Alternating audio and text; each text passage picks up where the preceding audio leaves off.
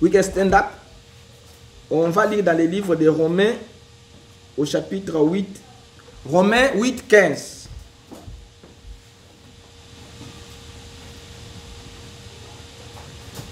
Je vais lire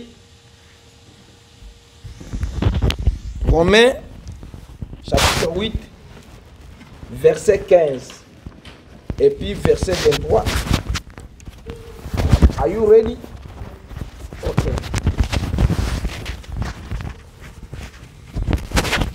Romains chapitre 8,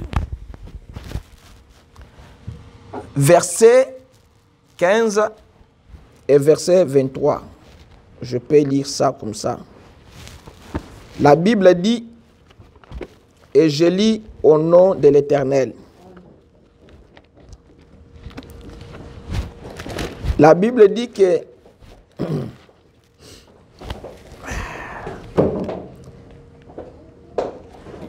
Je commence par verset 14. Car tous ceux qui sont conduits par l'Esprit de Dieu sont fils de Dieu. Et vous n'avez point reçu un esprit de servitude pour être encore dans la crainte, mais vous avez reçu un esprit d'adoption par lequel nous crions Abba Père.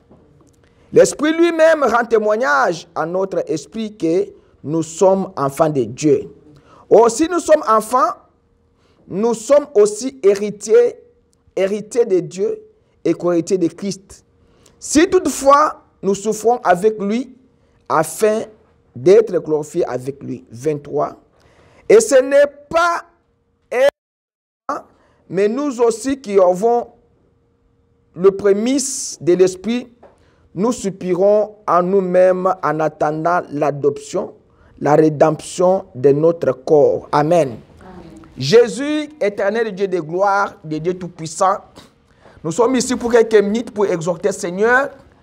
Éternel Dieu, conduis-moi, conduis mon frère, ma soeur, et déplace-moi du chemin, déplace aussi mon frère, ma soeur dans son chemin. Et aide-nous, Seigneur, à comprendre une petite leçon que nous avons.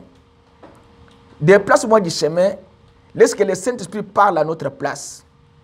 Moi, je ne peux pas les convaincre, mais le Saint-Esprit, c'est lui qui est le meilleur enseignant et qui peut nous enseigner, Seigneur, mieux, qui peut les enseigner mieux que moi.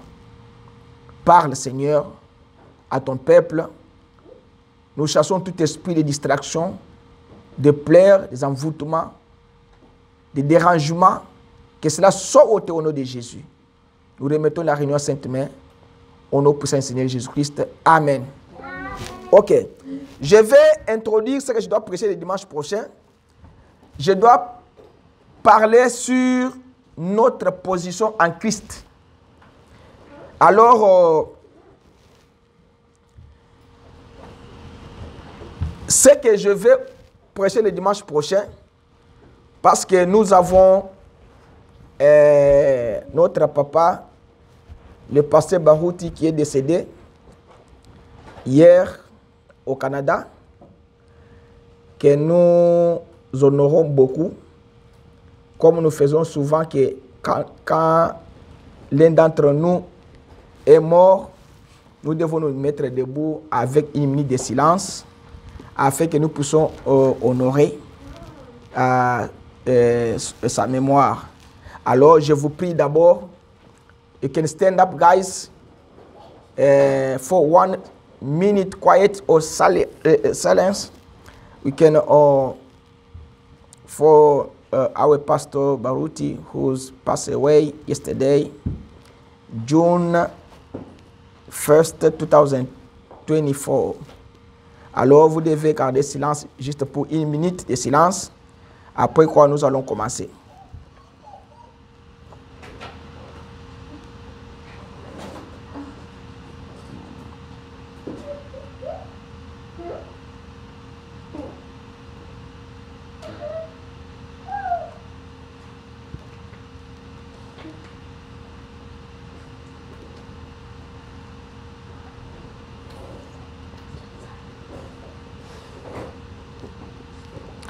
Ok, you can, you can sit down.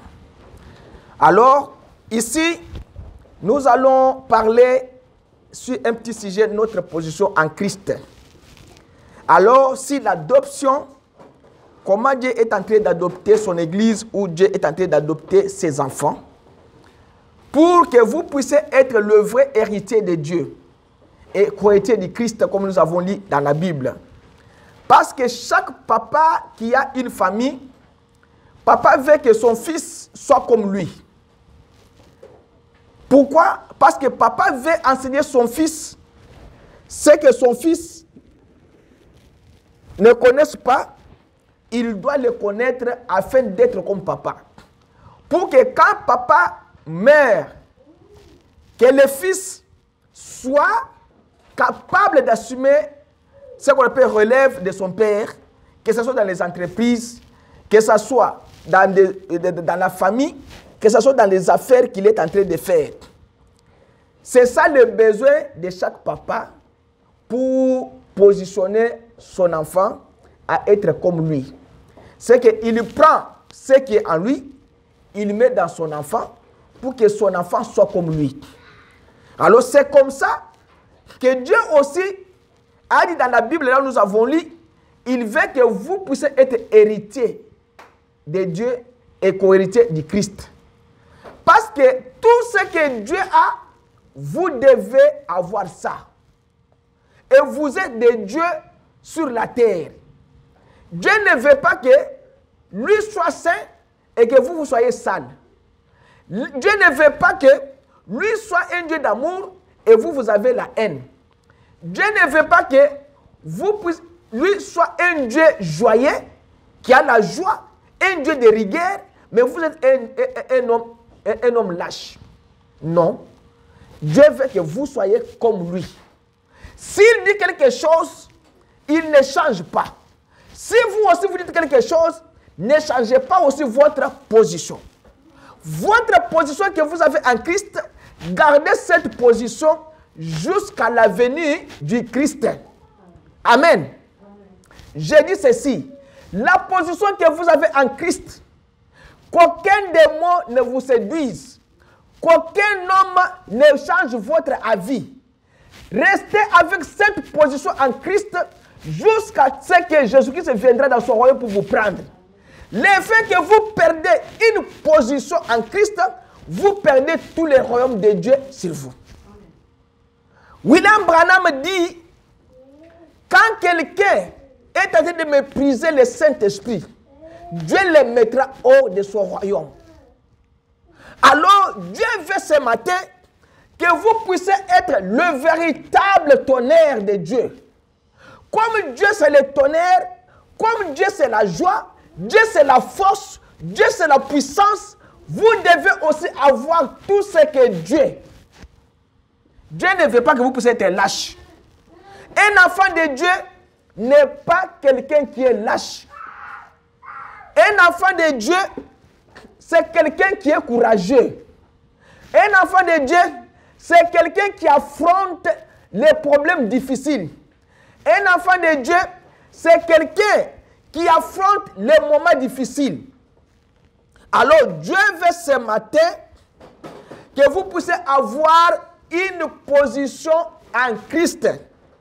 La position que vous devez avoir, c'est la position qui vous tient debout dans la parole du Seigneur.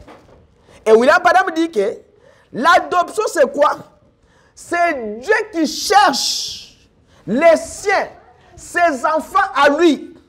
Et quand Dieu en place un, alors l'Église tout entière veut être comme celui-là, avoir les mêmes genres de choses. C'est que c'est l'adoption, c'est le placement. Quand Dieu vous adopte, il vous dit que je vous adopte, ma signature, c'est votre signature. Votre signature, c'est ma signature à moi. Tout ce que vous lierez sur la terre, cela sera lié au ciel. Si vous déliez quelque chose au ciel, sur la terre, le ciel va délier cela. C'est ça ce qu'on appelle adoption. Vous êtes, vous êtes devenu, vous êtes devenu un homme Dieu. C'est que tout ce que Dieu a vous appartient. Tout ce que Christ a vous appartient. Alors vous devez faire les œuvres de Christ. Vous devez faire les œuvres de Dieu. Vous devez adorer Dieu. Vous devez marcher avec Dieu. Vous devez dormir avec Dieu. Dieu est en train de chercher quelqu'un ou une église à placer. Alors il dit, nous sommes taillés différemment, nous sommes faits différents et nous avons des natures différentes. Et nous sommes placés dans des positions différentes. Quand Dieu appelle son fils, quand Dieu appelle sa fille, Dieu l'appelle avec une position différente avec l'autre. Quand Dieu place ses enfants, Dieu les place avec une position différente avec les autres. Et n'enviez pas la position que Dieu a placée l'autre dans le corps du Christ. Si toi tu es chanteur, sois chanteur. Si tu es prédicateur, reste prédicateur. Si tu as les dons de sagesse, reste là seulement avec la sagesse que Dieu t'a donnée. Si tu as les dons d'interpréter, d'interprétation, restez à votre place. C'est pourquoi il dit que Dieu nous sommes placés et taillés différemment et nous avons des natures différentes et nous sommes placés dans des positions différentes. Chacun pour un travail différent. Peut-être que l'un, c'est pour un genre de travail plus petit et l'autre pour un travail de plus grande envergure. Ça veut dire que nous ne ferons pas le travail de la même façon. Nous ne serons pas les personnes avec la même puissance. Nous ne serons pas les personnes avec les mêmes positions. Nous aurons des positions différentes, mais chacun nous combattons, chacun nous parlons pour la gloire de l'éternel. Et quand nous venons à l'église, nous venons pour la gloire de l'éternel afin d'avoir une main d'association les uns les autres.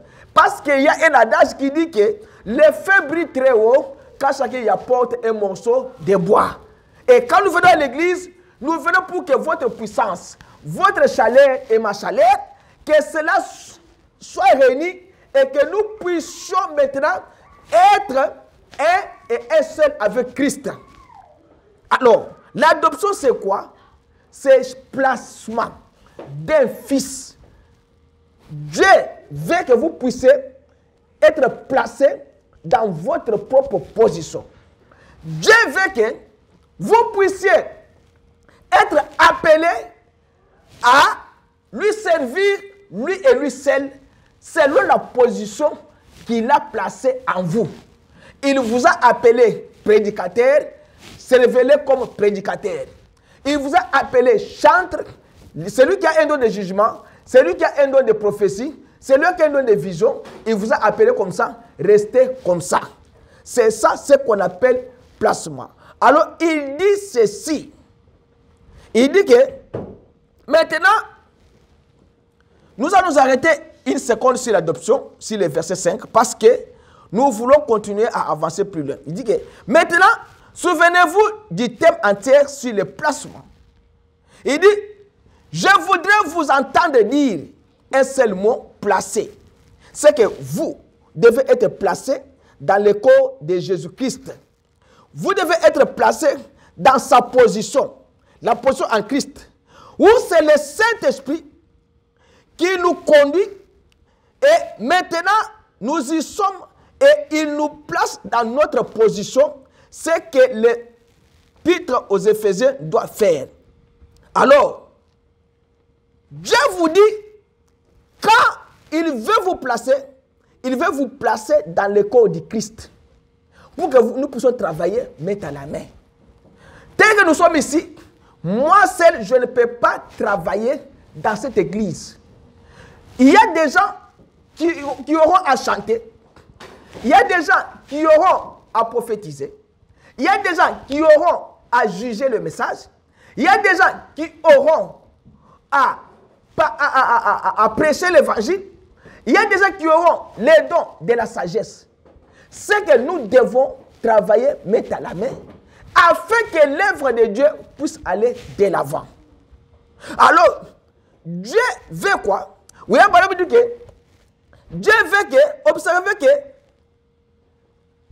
Dieu, dans sa grandeur, il veut éliminer en vous de façon définitive toute idée du genre je suis chrétien aujourd'hui et demain je ne le suis pas. C'est quand vous venez à l'église, vous devez être obéissant à Dieu. enlevez en vous l'esprit ou bien l'idée de chute. Enlevez en vous l'esprit ou l'idée que moi, j'ai pris, Dieu ne me répond pas. Mes affaires ne marchent pas. Ma vie n'avance pas. Éliminez cette idée de doute-là en vous. Dieu ne veut pas que vous puissiez douter de sa parole. La parole de Dieu n'échoue jamais. Quand Dieu vous dit quelque chose, ayez foi et la chose arrivera. Même si ça prend une année, mais sachez que Dieu qui a dit déjà, ça arrivera. C'est pour là vous dit que vous devez enlever ça. Les doutes là, que ça ne tienne pas debout devant vous. Dieu vous enlève l'idée que tu n'es pas son fils. Il vous dit que enlevez l'idée que vous n'êtes pas héritier. Enlevez l'idée que vous n'êtes pas enfant de Dieu.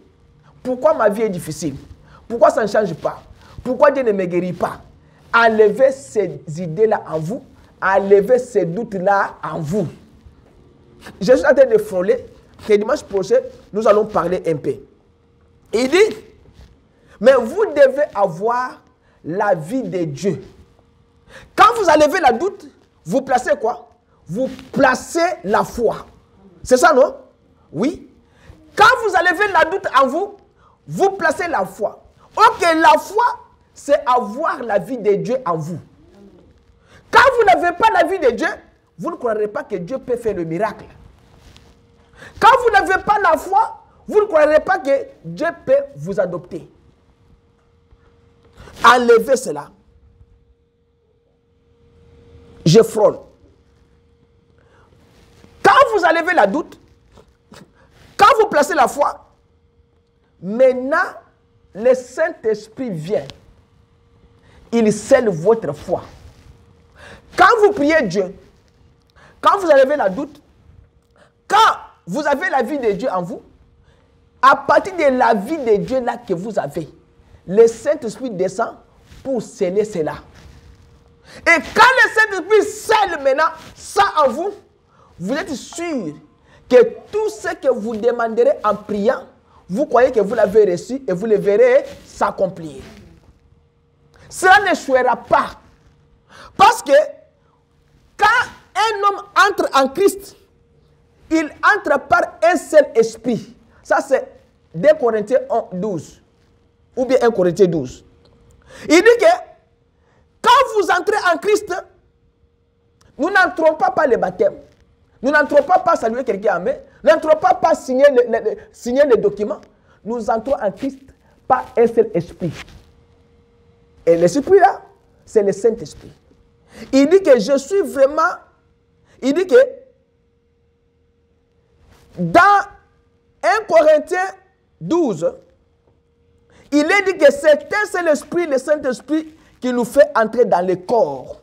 Et nous sommes autant en sécurité que ce corps-là est en sécurité. Il dit que Dieu nous a promis que nous allons entrer en Christ.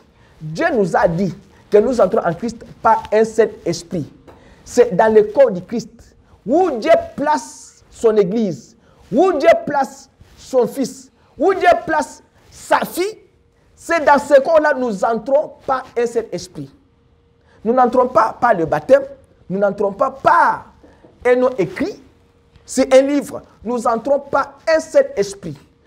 Quand Dieu veut nous placer en Christ, il nous place par un seul esprit. Il nous place comme nous sommes un fils et filles de Dieu dans le corps de Christ. Parce que Christ lui-même, il a pris nos péchés. Il a pris nos souffrances. Il s'est chargé de nos souffrances, de nos péchés, de nos iniquités. Il a dit que je porte cela parce que vous êtes mes enfants adoptés. Quelqu'un qui est adopté par Dieu, c'est que Dieu a pris ses souffrances. Il a pris ta peine. Il a pris tout ce que vous avez comme les mauvais là. Il a porté ça sur lui.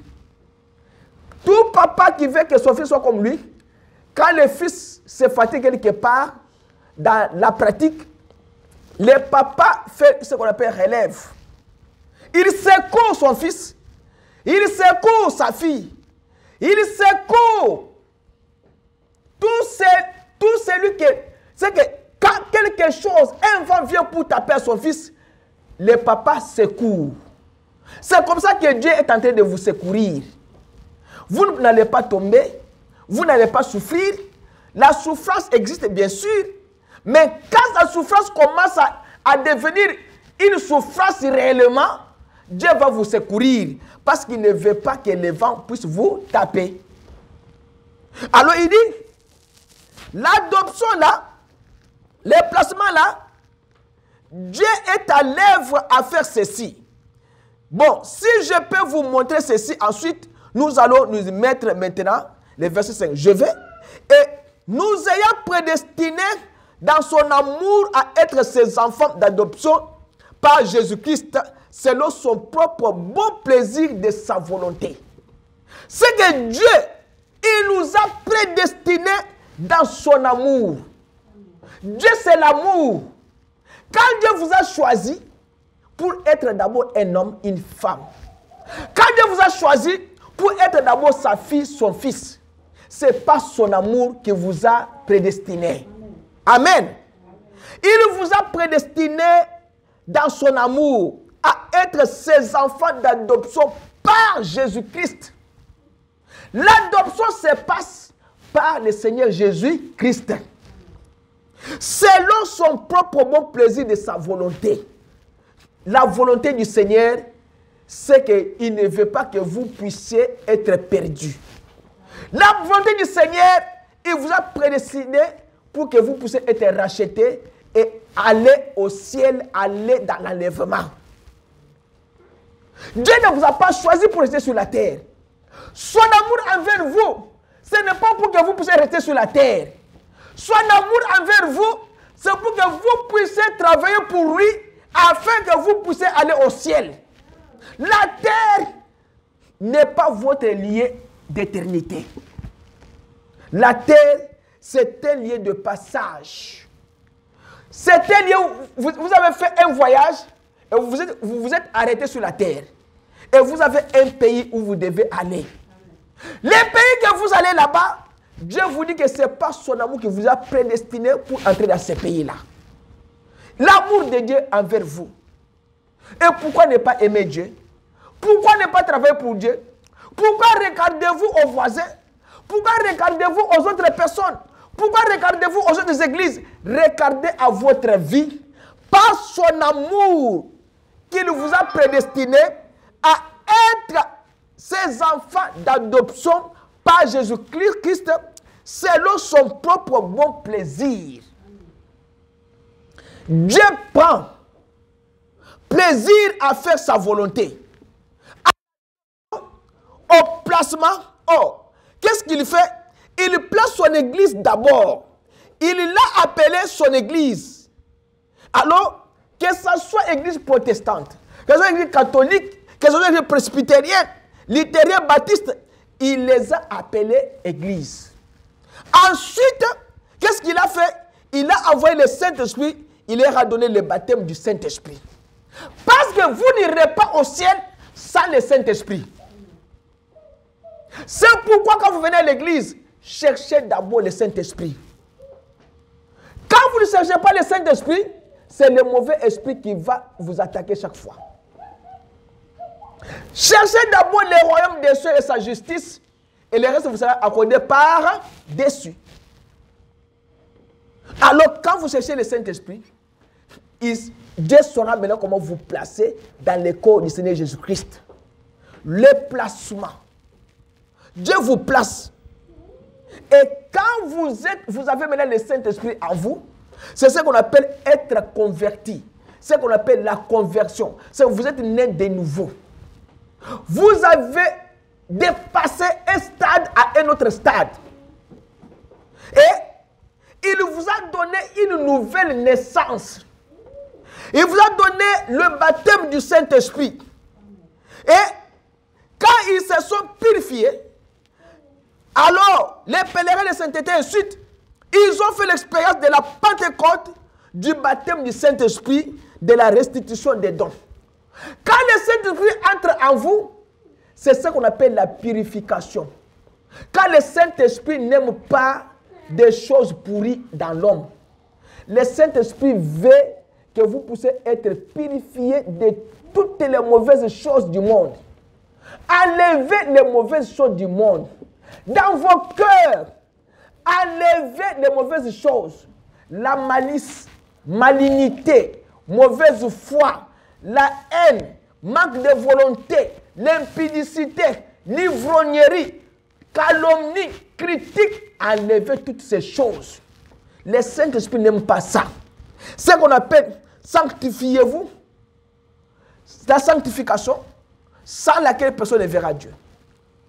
C'est pourquoi William vous dit que même si vous avez le Saint-Esprit, vous allez vous sanctifier même pour votre ennemi. L'ennemi là qui est en train de te tourmenter, tu fais la gêne de prière. Seigneur, cet homme ici, cette femme ici qui est en train de me mettre les crocs à jambes, William vous dit que vous allez vous sanctifier pour vos ennemis. Afin que Dieu prenne vos ennemis là, qu'il les transforme en des enfants de Dieu. Alors, il dit que c'est ça l'adoption du Fils. Parce que Dieu veut prendre son Fils. Dieu veut, faire de son Fils ce que lui, Dieu veut que vous puissiez être comme lui. Nous chantons être comme Jésus. Tous les jours de ma vie, être comme Jésus. Alors il dit que placez le placement d'un fils. Maintenant, donnez la place d'un fils d'abord après que le fils était arrivé. Alors il était un fils. Mais ensuite, nous avons vu que c'est sa conduite qui le mettait en position d'être adopté. Quelle est votre conduite en Christ? Quand le papa place son fils, quand le papa adopte son fils, c'est à partir de sa conduite. Dieu aussi, quand il place l'église, c'est à partir de la conduite de l'église que Dieu place son église dans l'adoption. Quand tu veux être aussi placé, adopté, Dieu regarde votre conduite et comment avant de vous adopter. Est-ce que vous avez une conduite meilleure? Est-ce que vous vous conduisez bien comme un fils de Dieu ou bien comme une fille de Dieu? Est-ce que votre vie est une vie de sanctification? Est-ce que votre vie est une vie de prière? Est-ce que votre vie est une vie que si un homme, vous vous donnez à Dieu, et Dieu peut répondre? Parce que William Branham dit que si un homme se donne à Dieu, qu'il se donne au complet. Si vous voulez vous donner à Dieu, donnez-vous complet. Il ne faut vous donner en partie. Vous vous donnez une partie et une autre partie dans le monde. Non. Donnez-vous complètement à l'éternel. C'est à ce moment que l'éternel va agir avec vous. Mais vous avez une partie au monde, une partie avec Dieu. Aujourd'hui, vous venez à l'église, demain, vous allez dans les bars. Vous ne vous êtes pas donné complètement. Pour que vous puissiez être adopté, ça dépend de votre conduite devant Dieu. Et si vous voulez vous donner à Dieu, donnez-vous au complet. Ne laissez pas une autre partie rester derrière et l'autre partie va avec Dieu. Non. Examinez-vous. Nous sommes au temps de la fin. Que chacun fait l'examen de conscience de sa vie. Que chacun regarde, est-ce qu'il est adopté, il est placé dans le corps du Christ, mais il n'est pas placé. Que chacun regarde, quelle est la façon dont tu es en train de te conduire avec la parole du Seigneur. Examinez-vous. Nous sommes au temps du soir. Aujourd'hui, il y a des personnes qui meurent au monde. Les gens pleurent. Mais eux ont fait le travail, ils ont fini. Dieu les a appelés. Quand Dieu vous, vous retient en vie jusqu'aujourd'hui, c'est parce que peut-être tu n'es pas encore prêt à donner ta vie à Christ. C'est parce que peut-être il y a quelque chose que Dieu est en train d'attendre que vous puissiez réparer afin que vous puissiez monter au ciel. Aussi longtemps que vous n'avez pas réparé ça, Dieu vous retient d'abord sur la terre. C'est pourquoi n'ayez pas de problème avec des gens. N'ayez pas de la haine avec des gens. Si vous avez des problèmes avec quelqu'un, c'est le moment d'arranger. Parce que vous ne savez pas quand Dieu va vous surprendre. Car la mort, c'est une surprise. Personne ne prétend, personne ne connaît quand il mourra. Personne ne peut connaître que je, je, je naîtrai telle date et je mourrai telle date. La date de naissance, le mystère de la mort et le mystère de la naissance appartient à l'éternel. Alors, préparez-vous, nous sommes au temps de la fin. Cela peut vous arriver aujourd'hui et demain. Est-ce que vous serez dans le corps du Christ? Est-ce que si Christ descend aujourd'hui, vous serez capable de lui dire que Seigneur, je suis placé dans ton corps par le baptême du Saint-Esprit Est-ce que vous êtes réellement placé dans le corps du Christ ou bien vous êtes en dehors du corps du Christ? Examinez votre vie. Nous sommes au temps de la fin. Travaillons jour et nuit pour l'œuvre du Seigneur. Travaillons. Chacun de nous doit travailler de sa propre façon. Mais nous travaillons parce que l'Esprit Saint nous demande de pouvoir travailler pour Dieu. Et chacun de vous a une autorité que Dieu vous a donnée. Et me dit que l'adoption, le placement en position, où sont-ils? Montrez-moi où ils sont. Dieu qui appelle ses enfants, les met à part par la manifestation. Ils n'ont pas besoin d'en dire un mot. Vous voyez? Il se passe quelque chose. Il place son fils dans sa position. Il lui donne sa place exactement la même chose. Tu ne peux pas prendre la place d'une autre personne. Réveillez-vous. Tu ne peux pas prendre la place d'une autre personne. Il a autant d'autorité.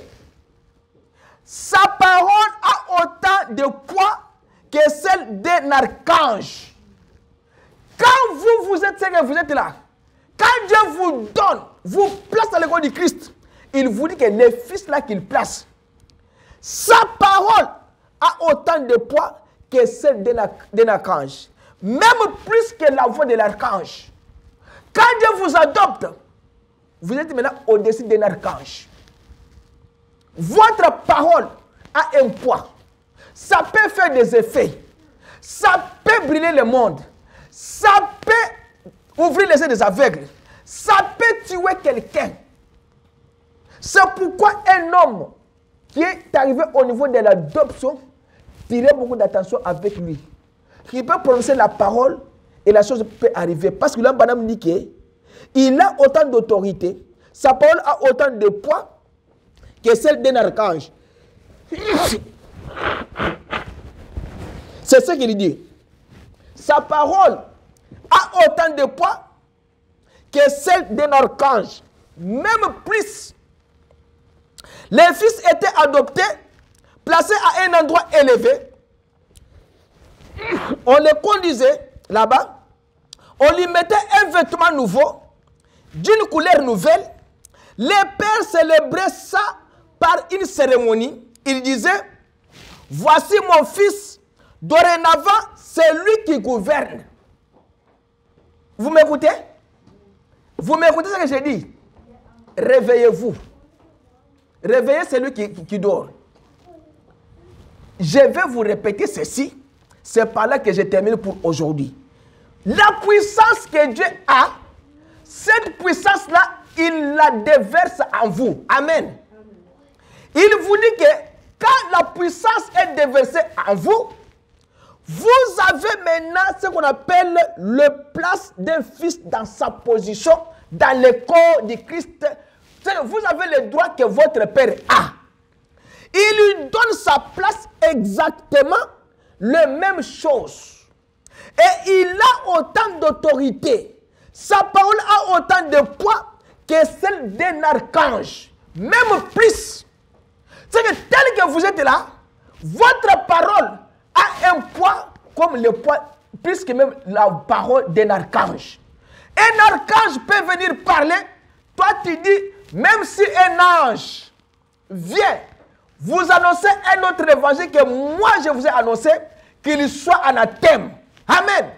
Parce que votre parole maintenant a un point plus que la parole d'un archange.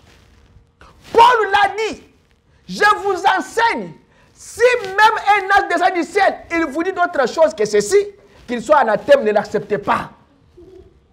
Et il vous dit, les fils étaient adoptés, placés à un endroit élevé. Quand vous êtes adopté, vous êtes placé à un endroit élevé. Vous n'êtes pas comme les autres personnes ici. Vous êtes maintenant un homme différent. Votre parole pèse sur les royaumes. Et il dit, cette parole, on les conduisait, ses fils, là-bas, on lui mettait un vêtement nouveau. Voilà là où Dieu veut vous amener. Dieu veut vous vêtir d'un vêtement nouveau et non des anciens vêtements. Dieu veut vous vêtir d'un esprit nouveau et non l'esprit ancien que vous vêtez quand vous êtes dans la famille. Les esprits de la famille, les esprits de culture, les esprits de coutume, les esprits de ceci, cela. Dieu ne veut pas de ces esprits-là en vous. Amen.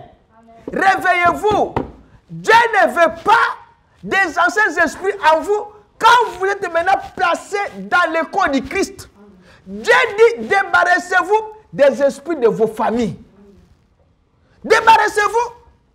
Nous, dans notre famille, notre papa nous a dit, avant de se marier, notre papa nous a dit, débarrassez-vous de cela. Parce que vous avez un nouveau habit. Vous avez un nouveau esprit. Vous êtes maintenant adopté. Vous êtes maintenant dans le corps du Christ. Rien ne peut changer votre esprit. Rien ne peut changer votre vie. Votre vie maintenant devient la vie de Jésus-Christ. La Bible dit que ceux qui sont en Christ sont une nouvelle créature. Toutes choses anciennes sont passées. Voici les choses deviennent nouvelles. Il dit que les vêtements nouveaux, d'une couleur nouvelle, pas la couleur, pas l'ancienne couleur. La même façon dont vous étiez dans votre famille, c'est la même façon dont vous conduisez à l'église. La manière dont vous vous conduisez à l'église doit être maintenant une manière différente et une manière nouvelle. Vous devez vêtir d'une nouvelle couleur. Vous avez la couleur noire de la famille. Nous, dans notre famille, nous portons toujours noir noir. Non. Noir noir. Maintenant, revêtez-vous de blanc blanc. Ce qu'on appelle bling bling. Il dit, le Père célèbre ça par une cérémonie. Il disait, voici mon fils, dorénavant c'est lui qui gouverne. Dieu vous dit maintenant que moi, dans cette famille, c'est ma fille là-bas qui doit gouverner maintenant la famille. Vous tous que vous êtes ici, si vous ne suivez pas cette fille, vous n'aurez pas la vie sauve. Dieu maintenant commence à vous placer. C'est toi la tête de cette famille. Pour que cette famille puisse aller de l'avant, ils doivent vous suivre vous.